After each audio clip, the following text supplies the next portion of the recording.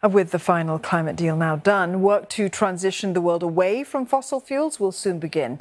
Sustainability and the Environment Minister Grace Fu says that this final outcome from COP28 may not please every party, but it represents a significant stride towards global collective action.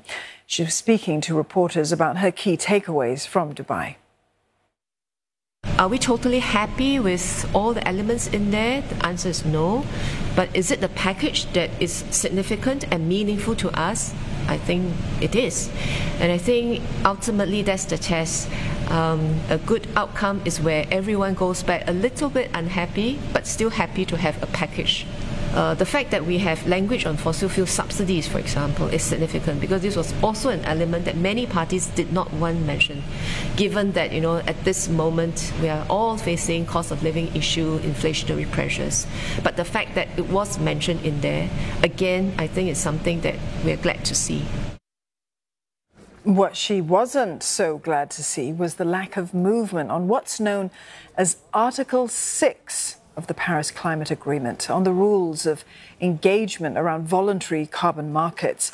This comes as Singapore inked several deals during the 12 day summit to generate and buy carbon credits from countries including Papua New Guinea, Senegal, and Rwanda. On Article 6, we are disappointed that there was no progress.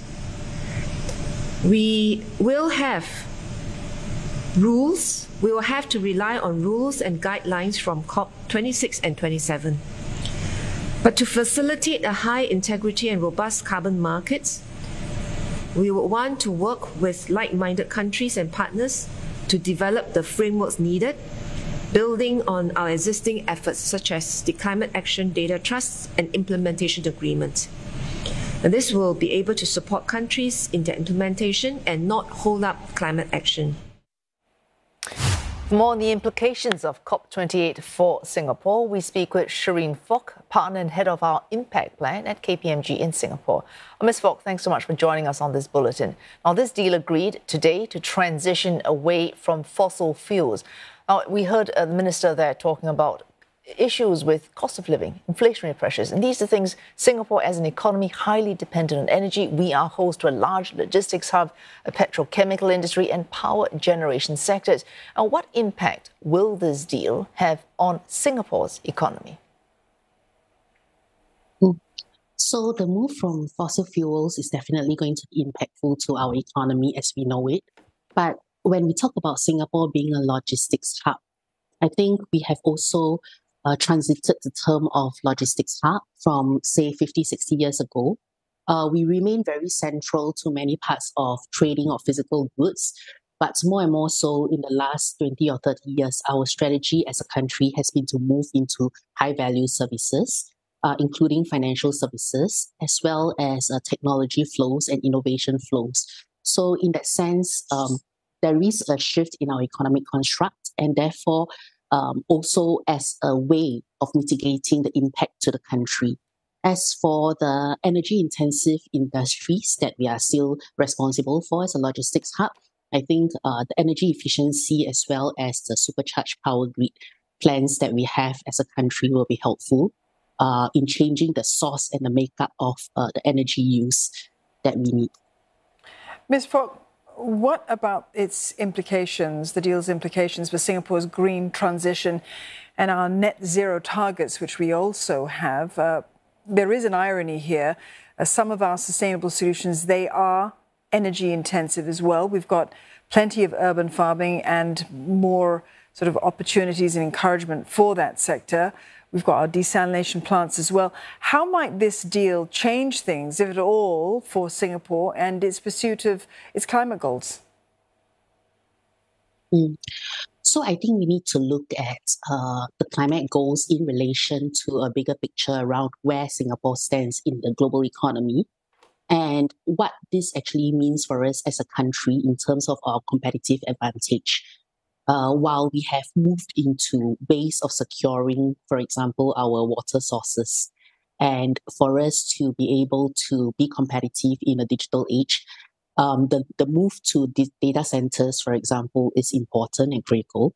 And uh, we are looking at uh, achieving a good balance uh, between the different needs of the economy, um, equity, social equity, as well as energy use. And again, the way that we balance these different components in terms of the kind of energy efficient equipment that we use, as well as uh, the sources of energy, that will be an important part of the mix. All right, Ms. Foo, uh, we heard the Sustainability and the Environment Minister Grace Fu expressing her disappointment at the lack of progress on Article 6 of the Paris Climate Deal. Now, that specifically refers, mm. if there had been progress, we would have seen updates in the regulations around the generation and buying of carbon credits from countries. Now, Singapore showing our faith in that. We have inked several deals in just this particular summit alone.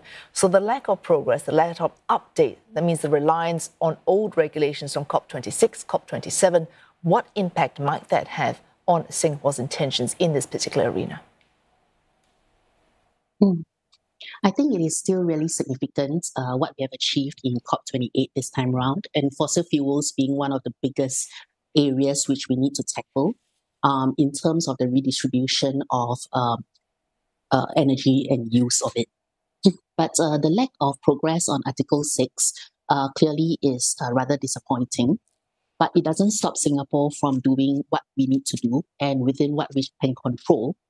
Uh, so our voluntary uh, signatories and, and agreements with different countries um, on carbon trading, uh, it falls back to us to be able to honor these promises and to be able to demonstrate um, how we actually fulfill these responsibilities and build trust in the ecosystem. Because a great deal of why the climate uh, agenda could not progress, um, other than the fact that you know we may have some limitations around technology and geography, it is really back to uh, uh, absence of trust, perhaps around countries um, when we are negotiating what would this mean for the economy and for the people. And uh, for Singapore, having progressed uh, so far in the carbon trading and the carbon agreements, it is a strong signal to us that we must continue to move ahead and let not uh, perfection become a limit to progress. Oh, thanks so much for those insights. Cherine Fok from KPMG Singapore.